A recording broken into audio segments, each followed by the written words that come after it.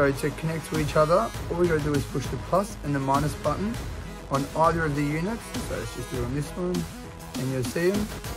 The lights will get up in sync. Now they're paired to each other. You can talk to each other.